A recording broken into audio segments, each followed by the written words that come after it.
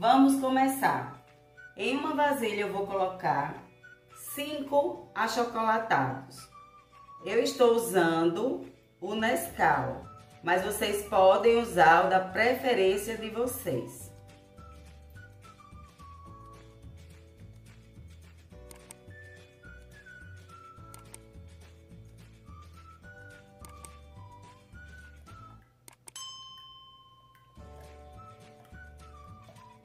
Essa é uma sobremesa muito fácil, que vocês vão gostar bastante, super rapidinha.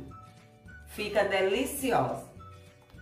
Vou deixar reservado. Em uma panela eu vou colocar 50 ml de água e um pacotinho de gelatina incolor, 12 gramas.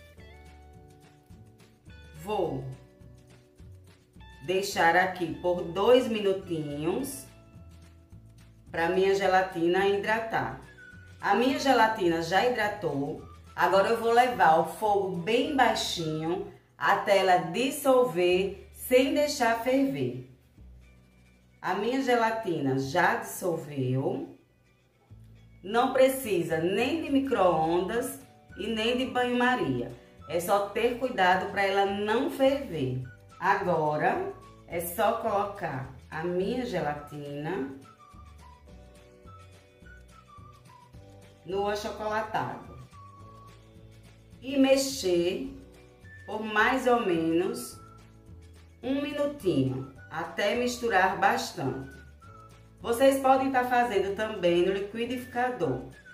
Eu preferi fazer desse jeito porque não forma tanta espuma, mas no liquidificador vai dar super certo.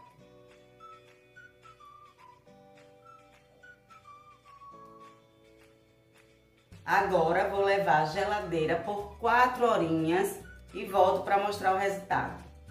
Minha sobremesa passou 4 horas na geladeira. Agora eu vou mostrar a vocês como ela está.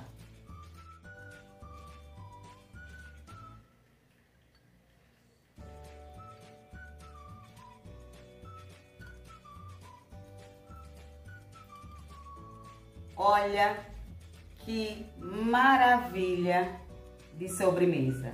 Espero que vocês tenham gostado e não esqueçam de me seguirem lá no Instagram, arroba Culinária Oficial. Até a próxima!